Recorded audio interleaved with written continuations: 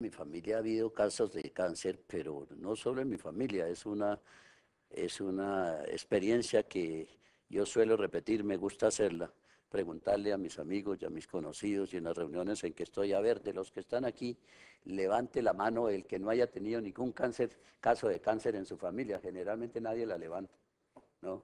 Es decir, todo el mundo ha tenido... Entonces, como cuando se quiere colaborar, pues lo que por lo menos yo trato es de buscar en dónde se puede ser más útil y más efectiva esa ayuda. Encontré que en ese asunto el cáncer sería muy, muy útil. Y esa es la razón de por qué nos metimos en esto. ¿Cuáles son sus proyecciones de cómo cambiará la incidencia del cáncer en Colombia, el diagnóstico, cuando este centro esté funcionando a plena capacidad? Llegará algún momento en que empiece a disminuir como todos los males que han aquejado a la humanidad en algún momento de su historia, pero por ahora no estamos en eso. Las proyecciones son que los casos de cáncer van a aumentar muy significativamente en los próximos 20 años y los casos de muerte por cáncer también, del orden del 100%. ¿Usted en lo personal le tiene miedo al cáncer? Pues sí, sí, yo sí le tengo miedo, además lo he visto muy de cerca y, y pues uno siempre le tiene miedo a esas cosas que no puede dominar, ¿no? Ojalá no sea el caso, pero en el caso de que usted tuviera que recibir un tratamiento, se iría al Centro Ah, de pero Investigación contra el. Cáncer, de del suyo, Sí, pero sin dudarlo. no por fuera de Colombia ni nada de eso. A no ser que en ese momento no estuviéramos preparados todavía para eso, porque es que es, ese es otro de los problemas, es de una extensión inmensa, como le decía, eso no es, siempre habla uno del cáncer, pero eso no es una enfermedad, es decir, el cáncer de los pulmones es una cosa y el cáncer del estómago es otra y el cáncer de la piel es otra, y, y- son verdaderamente enfermedades muy diferentes que requieren tratamientos muy diferentes ¿Por qué está pensando el centro no solamente como algo para Colombia, sino para América Latina, que se vuelva el núcleo de toda esta región? No, no, no, no propiamente lo pienso así, sino más bien presiento que eso pueda ocurrir, porque pues los países vecinos, eh, ningún país, ni nosotros ni los vecinos tienen hoy por hoy un centro de esa clase. Claro que sí hay otros, por ejemplo en Brasil sí lo hay, allá hay un hospital especialista en cáncer que se llama el Hospital Albert Einstein, que es un centro extraordinario, pero es casi el único caso en Centroamérica, en, en América Latina. Se sabe que usted es sumamente meticuloso con absolutamente todos sus proyectos. Eh, está encima, nunca se ha retirado y, y pareciera que nunca se va a retirar. En este proyecto específicamente, ¿hasta dónde se involucró? Total. Mm, Siempre, como lo dices, tienes razón. Eh, a mí me gusta estar consciente de lo que estamos haciendo. Es además un elemento fundamental de la responsabilidad, ¿no? Es decir, no se puede hacer responsable de lo que no conoce, de lo que no ha supervisado. Ahora, eso tampoco significa que los demás no cuenten, pero en este proyecto particular he estado atento día por día y detalle por detalle. No hay una esquina de los planos que yo no la haya revisado, pero por afición, por, por, por convicción. Pero cuénteme algo en lo anecdótico que haya pasado durante todos est- estos meses o años de preparación. Pero nunca habíamos construido un hospital y hemos tenido que aprender de verdad. Hemos tenido que hacer el curso completo. El hospital es una construcción, sí, pero completamente diferente, muy diferente de las otras construcciones. Los requerimientos son distintos, la planeación es diferente, la necesidad total que hemos tenido que dedicarle muchísimo tiempo. Hemos contratado muchos asesores externos, hemos visitado hospitales, Estuvimos en el Hospital Anderson, que es hoy por hoy probablemente el hospital más importante de cáncer en el mundo, en, en Houston. También estuvimos en el Hospital de Cáncer del Mount Sinai en Nueva York. Estuvimos en el, en el, en el John Hopkins de Baltimore. Estuvimos el, en Karolinska en, en, en Estocolmo, en Suecia. Hemos ido a los sitios para tratar de aprender, para ver cómo hacen las cosas. Les hemos pedido que nos ayuden. Hemos encontrado las puertas abiertas. La colaboración ha sido, no te imaginas, total. Hay que hacer unos carriles de aceleración y desaceleración. Hay que hacer unas ampliaciones de vías. Yo hice todo eso. Volvamos al, al- al asunto de la salud, doctor Sarmiento, porque muchas personas se preguntarán, bueno, pero la familia entrega la obra y chao, o, y, vas a funcionar como los otros hospitales de Colombia que entran en estos problemas de que las EPS no les pagan, de que la crisis de la salud, de que los médicos hacen huelga, de que los médicos se quejan porque no están bien pagados, etcétera, o, eso no va a pasar en este centro de investigación? La primera parte de la pregunta que la considero muy importante, esa fundación CETIC son mi esposa, mis hijos y yo. Somos, somos, somos siete personas. Y esa es la fundación responsable de la entidad. Porque yo quiero, y mi familia lo ha aceptado y están de acuerdo conmigo, en asumir la responsabilidad de la obra ahora y especialmente hacia el futuro. Entonces, tenemos una responsabilidad y un compromiso moral, obviamente, no de ninguna otra clase, ético también si quiere, pero de mantener la obra en el futuro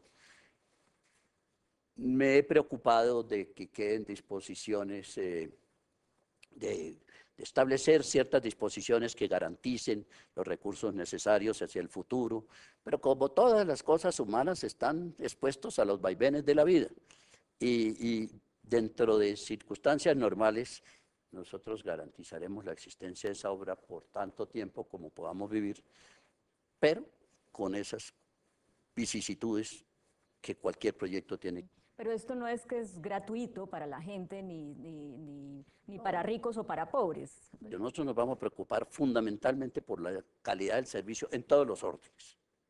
En, en, en, la calidad de los profesionales médicos, en la calidad de los equipos, en la mm, mm, organización interna, en el aporte de recursos, en fin, eso es. Pero lo primero es la calidad. Pero el segundo postulado es Allí el servicio tiene que ser igual para todo el mundo. No puede haber diferencia entre el que paga X plata y el que paga otra plata, sino que el servicio tiene que ser igual. Pero toda esta contribución económica inicial pues va a facilitar extraordinariamente el funcionamiento porque no tienen que rentar, no tienen que darle dividendos o retribución por su aporte a las personas que hayan puesto el dinero inicial. Eh, esto es una institución sin ánimo de lucro. Nosotros no aspiramos a tener ningún rendimiento sobre esto.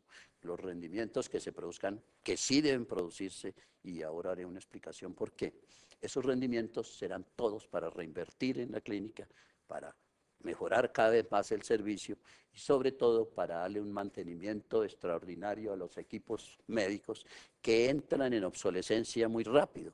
Entonces poderlos estar reemplazando para estar siempre con lo último que haya en los avances de la ciencia. Entiendo que está programado el centro para, atender, para tener 300 camas, pero no van a entrar en funcionamiento las 300 camas de una vez cuando se ha inaugurado en tres años. ¿Por qué hacerlo por fases y eh, las demás fases van a depender también de una donación familiar o de qué dependerán? Por dos razones no, no lo hacemos todo el tiempo. La primera, porque esta inversión es muy, muy alta. Este, esta inversión requiere una cantidad de dinero muy importante y, no habría recursos en este momento para poder hacer toda la, la construcción y la dotación al mismo tiempo. Pero por otra, tan importante o tal vez más importante que esa, porque es que uno no puede correr el riesgo de, de, hacer unas instalaciones que puedan atender, por ejemplo, 300 camas o 350 camas desde el primer momento y abrirlas y esperar a ver si los pacientes llegan o no llegan, porque de todas maneras los pacientes que están los están atendiendo en alguna parte y entonces pues habrá un poco de desplazamiento, los nuevos pacientes. O sea que hay que darle tiempo al tiempo, hay que darle la espera natural para que tengamos la propia clientela de la clínica y eso toma tiempo. Si no se hace así, se corre el riesgo de hacer una inversión muy grande, tener un lucro cesante terrible que en lugar de mejorar se encargue de, se, se convierte en una ayuda perversa, porque en lugar de mejorar va a dificultar la ayuda posterior.